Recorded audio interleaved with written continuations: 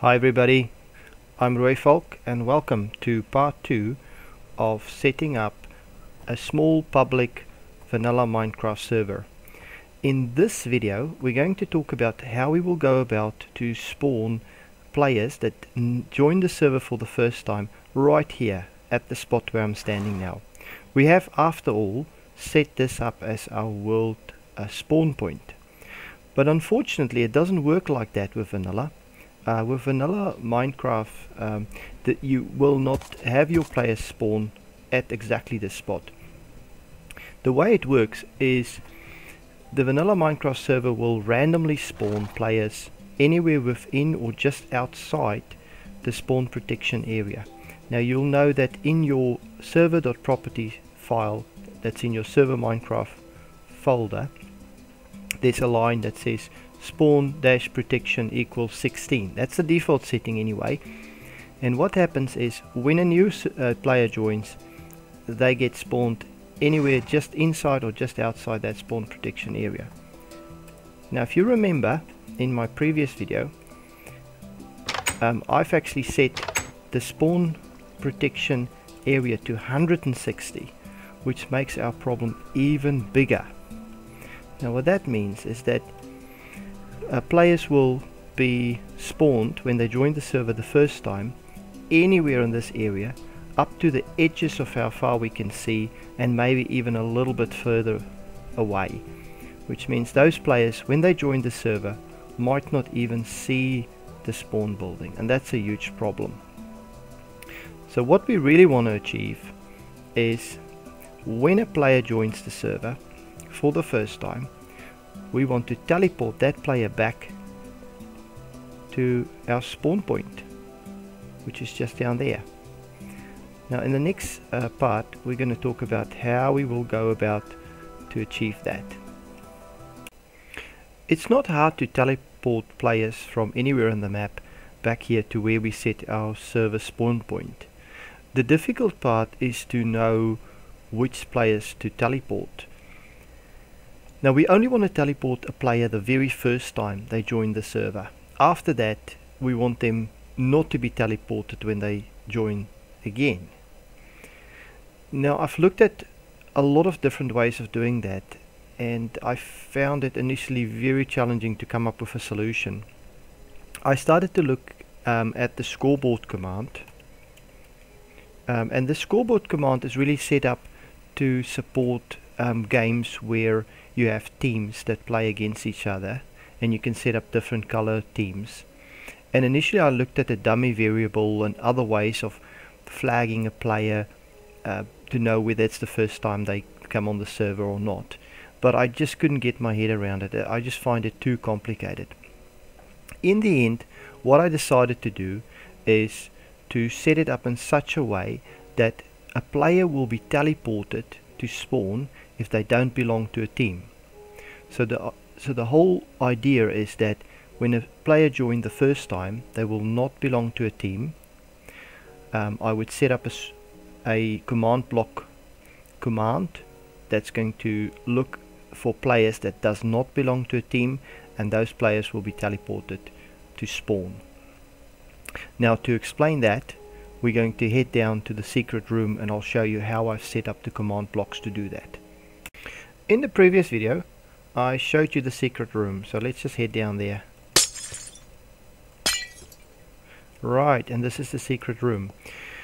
Now um, this is the command block that I use to teleport non-team members back to spawn.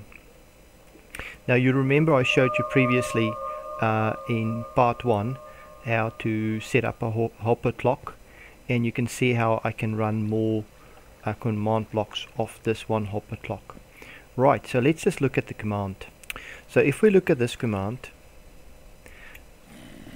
this is teleport at A which means all players.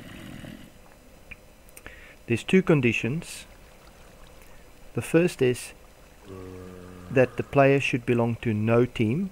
So the command is team equals and then nothing basically not even a space just a comma. So this will target a player that doesn't belong to any team. The next condition is that the radius of the player should be more than 15 blocks. So it's only going to teleport a player that's more than 15 blocks away from this command block. We don't want to teleport any players that's in the building already, that's close to the command block, because once we've teleported the player from further away into the building, we want to give that player the opportunity to pick a team. And then the player will be able to leave this, this spawn building. And we would look at that part later. So this is essentially is just a simple command that says teleport all players that doesn't belong to any team that is further away than 15 blocks to this particular coordinates.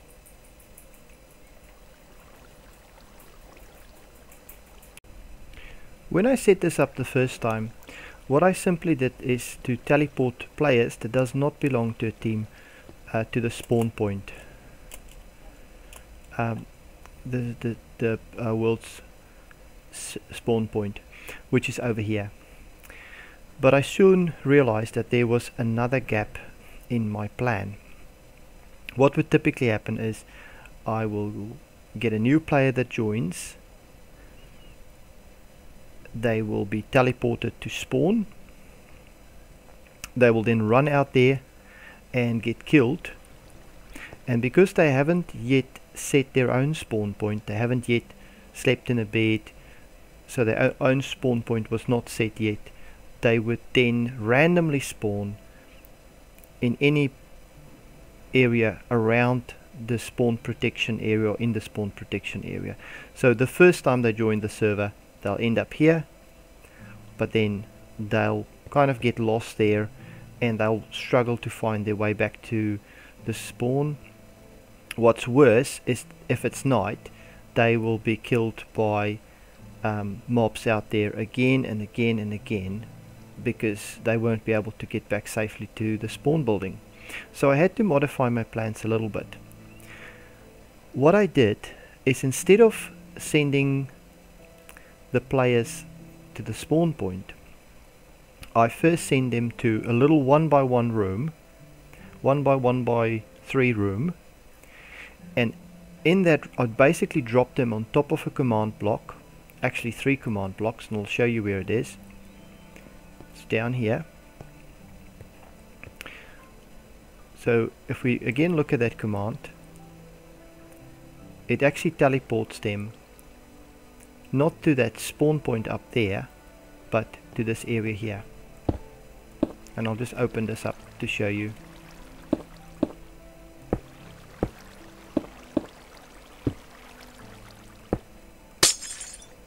Right, so there's three command blocks here. And what essentially happens, I'll just open it up completely to show you. What happens is I will teleport them from anywhere out there to this position here and they will drop on top of this command block. Now what does this command block do? This command block set the spawn point for the player to where I want the actual spawn point to be which is up in the room where I showed you before. So the player will have their spawn point. So if they do get killed and they haven't yet slept in a bed or they haven't yet set their own spawn point this will actually set their spawn point as soon as they join the server. So just to run through that again. So the player joins the server they get teleported over here they drop on this block. But that's not good enough. Once we have the spawn point set, we want to uh, teleport them now to the actual spawn point which is up there, which I showed you before. I'll just clear that weather.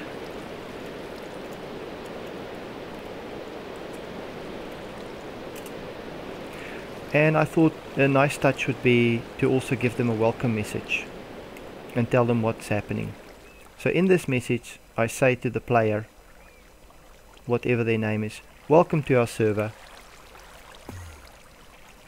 please remember you have to join a team before you are allowed to leave spawn and that's how it works so they get the player gets teleported here their spawn is set they get a little welcome message and then they get teleported hi enderman they get teleported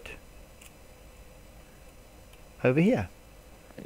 And that's how it works.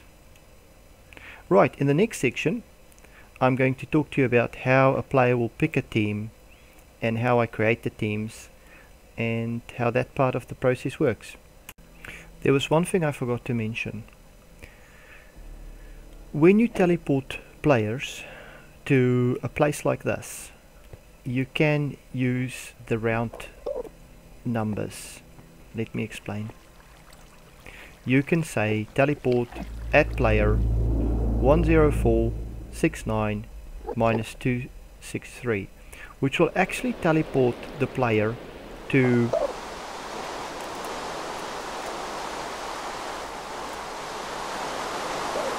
to the corner of this because it doesn't actually put the player right in the middle now there's a little problem. Um, if you don't use these decimal points what will very likely happen is that the player might actually be tele when, when you teleport them to this little room first they might well be teleported into the wall. So just be really careful and test it yourself and do go into survival and test it and make sure you don't actually teleport the player into the wall and determine the exact location. And you can determine it by if you stand right in the middle of a block and you press F3 you'll see that the XYZ coordinates is actually has decimal points. So you'd use the number 0.5 at the end just to be sure that you don't actually teleport a player into the wall that's quite important now that you know how I get the player to the spawn building, and if they die, teleport them back to the spawn building, now we need to look at how we allow the player actually to pick their own team. Now before we can actually get them to pick teams, we need to actually create teams. Now I've set up three command blocks for that purpose and I'll just open it up and that's for each team. And I only need to do this once. So if you look at the first command block you'll see the command. It's scoreboard teams add aqua aqua team. So what it actually does it creates a team and it uses the variable aqua and it uses the name aqua team. So that will create the team that will create the first team and we, we want to create about eight teams or you know however many teams you like to create. Once we create the team the repeater sent the command through and it activates the next two blocks now the next command is scoreboard teams option aqua friendly fire false. Now what that means is that members in the same team will not be able to hurt each other directly. So you won't be able to hurt each other with a sword or with an arrow but you might hurt uh, members of the same team by indirect means like fire and potions and things like that as far as I know. The other command that's also associated with this is scoreboard teams options aqua color aqua. So I'm actually using the color aqua which exists in Minecraft to color this team aqua. So that so that will actually be the color. Now I've done that same three command blocks for all the other teams. So we have black, we have blue, gold, green, red white and yellow now let's head upstairs and I'll show you how I make it possible for the different players that comes in on the server the first time to pick their own teams. Now let's start with the Aqua team. So I, I make it really simple. I have some instructions here that tell people they can join a team and then I have signs up that says you know which team is which color. So if we come over here you'll see that I've created two command blocks here. The first command block execute this command. It says scoreboard teams join aqua at player. So the closest player, the player that steps on this pressure plate will then join the aqua team. Now the second command block that gets activated is simply saying to the player you've joined the aqua team. Now to show you this if I type in test, I've added myself just to the grey team, which is not a team that exists on any of these normal player teams. But if I were to go over here and I activate this, it says you joined the Aqua team. So if I now go and I say test, it comes up on Aqua. And the same with black.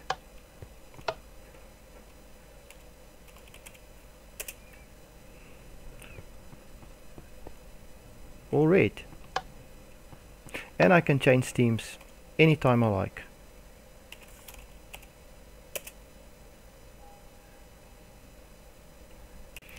One other important thing that I have to mention is you'll see I use pressure plates.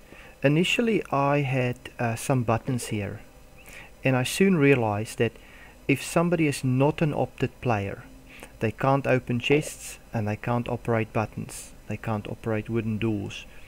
So a, a player that's not opted and is in the spawn protect area cannot activate any of those things. The only thing they can activate is a pressure plate. So that's why I use pressure plates here because that makes it possible for players to to change teams and activate these command blocks. Otherwise they simply wouldn't be able to to activate these command blocks. Thank you very much for watching this video part 2 and if you have any questions you're quite welcome to put the questions in the comment section. I'll try to answer all your questions. I must admit I'm not good with command blocks and I've had a, uh, had to go and look at other people's YouTube channels and, and try to figure out how it works and I had to read about it. And I'm sure if you guys look at this you'll use this and you'll actually just build on top of this and come up with much better ways of doing this. So thank you for watching and I'll see you next time. Bye.